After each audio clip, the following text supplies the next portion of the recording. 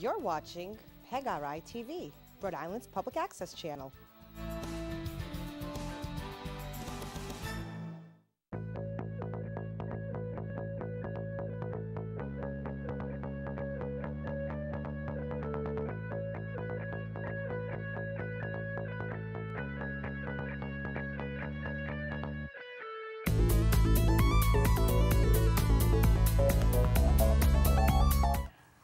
Everyone. Thank you for joining in to the Cybercrime Support Network uh, TV show regarding cybercrimes. Uh, my name is Kim Cassie Pelangio. I am with the Cybercrime Support Network, which is a nonprofit 501c3, and with me today is Rachel Ferdinandi from Rhode Island 211, our partner in assisting victims of cybercrime. Today we're going to be focusing on tax scams and charity scams. Uh, tax scams are very prevalent this time of year. Uh, it's tax season. And scammers will use regular mail, email, robocalls to try to scam you out of your tax dollars and to try to gain your personal information. Rachel, can you tell us a little bit about some of the scams that you're seeing and what the IRS advises to protect people? Yeah, so um, the first thing I want to mention is that scams don't only happen during tax season. IRS scams can happen year round. Um, any time of the year, you might get an urgent phone call or someone leaving a message on your um, answering machine or voicemail uh, saying that you owe funds that you didn't know you had any debt to the IRS. You could receive a message or just a phone call or a robocall saying that the police are going to be at your door and they're going to come arrest you if you don't pay back the IRS. Um, these scams are national. Um, they can be, as you said, phone calls or emails. They even can use um, relays for deaf people. Um, the TTY uh, relays, um, and interpreters don't scam calls for don't screen calls for validity. So. So if everyone someone is, needs to be wary. So if someone is deaf or hard of hearing using that service, they should know that just because it's coming through doesn't mean that it's been cleared. A scammer Correct. can still come through that way. Correct. Thank you. So these victims are told money, told that they owe money to the IRS. Um, they're told that they need to pay right now the with a gift card or a wire transfer, um, and they're told that they'll be arrested or deported, or they'll have their business or their driver's license suspended, or their social security card suspended or canceled. Their social security, social security stipend will be canceled if they don't pay this IRS debt that they've never heard of. Um, so is this, are any of these tactics that you're discussing, would the IRS ever use any of these tactics? Would they ever threaten to suspend social security number? Would they ever ask for payment in any other form? Or what form do they ask for payment? They would never ask for a gift card or a wire transfer. Um, the IRS initiates contact by mail, always by mail, um, snail mail. It will come through the, post, you, through, through, through the, postal, postal service. service. Um, they will never call to demand your payment using a specific payment method like a prepaid debit card, a gift card, or wire transfer. They would never ask for your credit card or your debit card number over the phone. That, that's very good. That's a very good point. People should know that the IRS would never ask for your debit card or a credit card payment over the phone. Never. Um, they would never demand that you pay taxes without the opportunity to question or appeal any amount. These scammers will threaten to bring in local police, immigration officers, or other law enforcement to have you arrested for not paying. And they cannot revoke your driver's license, your business license, or your immigration status. And I've um, read also where uh, they disguise their caller ID so that you're picking up thinking that it's the IRS. And if um, you're uh, native uh, language, they can call and actually speak to you in your native language. Um, if it's not um, English, and try to convince you that you could be deported. So these are all um, scams. Yes, I actually received a call recently from a victim who thought that they were going to be deported, so they paid thousands of dollars to who knows. And they were told that they would be removed from the country. Now, this person is here legally. She has a green card. She pays her taxes.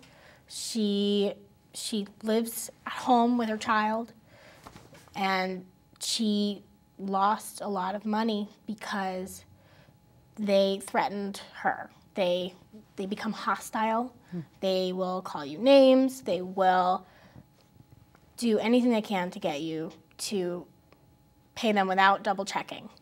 And so, how did she make payment for that? Was it a wire transfer, or gift cards? What in that particular case? This woman used gift cards. Okay. And again, um, if it were the IRS, they would ask for payment made to? They would ask most likely for a check mm-hmm. paid directly to the IRS. Okay. Yes. Mm.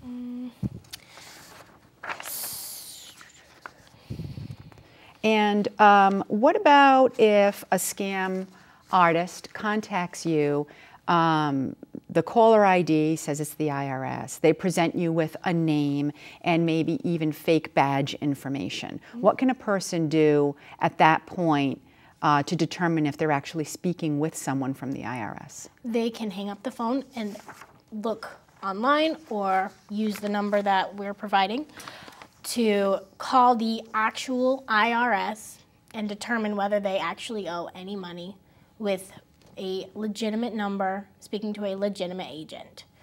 So treat it the same way you would any other robocall. If yes. you don't know if it's um, a real bill collector, IRS included, hang up the phone and call the actual number and ask if you are being contacted by, by that organization. Yes.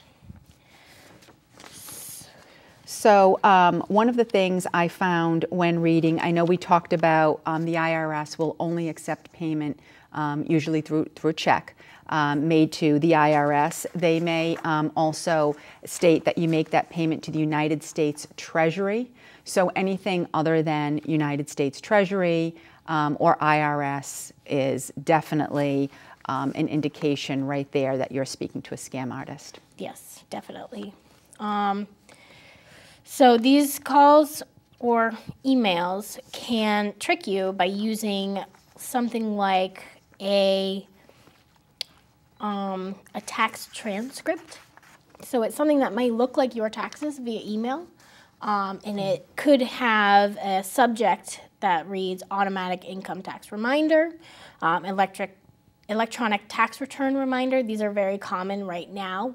Anything along these lines are things you need to be wary of. Always check that that um, return address, that email that you're um, seeing. Never click a link if you think it may be a faulty email. And you can report any scam emails you may receive from someone claiming to be the IRS at um, phishing at irs.gov. And that's P H I S I N G at irs.gov. Okay.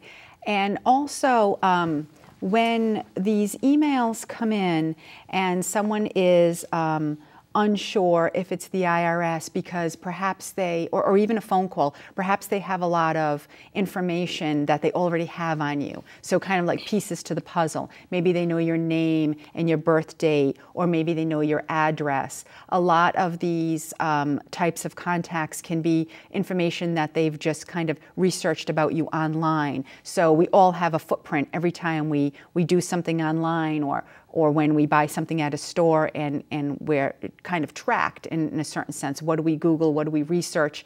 And so they can gather that information from our online footprint or they can visit um, our social media. Maybe we're on Facebook. Maybe we um, have our birthday listed on Facebook. A lot of people do that. So just because someone has that information when they call you and they're saying they're the IRS and they have your name and birth date, they're usually just using that to fish out the other private information that they don't have, like your social security number. Yes, they'll ask you to confirm your social security number and they won't say it first, they'll ask you to confirm it.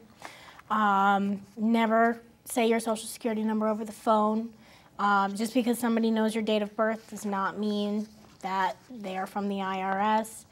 uh, there's a lot of information available online. And we need to be wary of what we're putting online, but we also need to be wary of what we're talking about on the phone. And anyone who has a question, as you said, can call the IRS directly. And they can also call 211 with a question Absolutely. if they're concerned if the IRS is really reaching out to them. Call 211 24 7. Talk to a call specialist who can help you determine if who you're speaking to is really someone from the IRS. Absolutely. And um, also, there we wanted to talk a little bit about charity scams. This is the time of year, usually the end of year when you're doing end of year giving, or the beginning of the year where you're thinking about um, contributing uh, maybe through your pay for the year, um, a little bit each paycheck to a charity. What should people know about charity scams? So charity scams are pretty prevalent. Um, it's important if you are thinking about making a donation to a charity that you're unfamiliar with, just do a little bit of research first. You can use the Better Business Bureau to find out if a charity is legitimate. Um, most businesses are listed on the Better Business Bureau. Um, they also have a scam tracker that you can use to find out what scams are going around locally, um, which is very helpful. Um, and then if you find out that it is a false charity, you can even report a scam, uh, a ch- false charity, to the Better Business Bureau.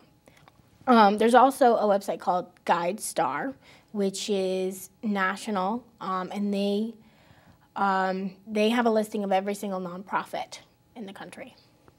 Okay, and, and also locally, other places that people could contact and visit websites would be the Department of Business Regulation. Yep. Um, uh, most nonprofits are registered with the Rhode Island Secretary of State. And if people are uncomfortable with researching this on their own or visiting these websites or don't have internet access, they can again just call 211 and you guys can walk them through the process of finding out if this is a legitimate charity or where they can go to find out if it's a legitimate charity.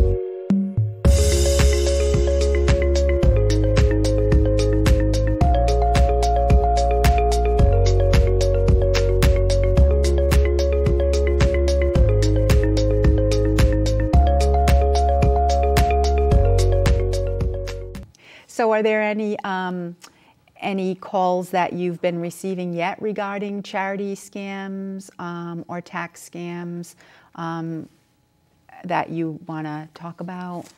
Well, there was the one woman that I mentioned earlier. She was the the most affected that I have spoken to, but there are plenty of people who receive these calls on a daily basis. Um, mainly, my biggest recommendation to anybody who's receiving these calls is to not pick up the phone.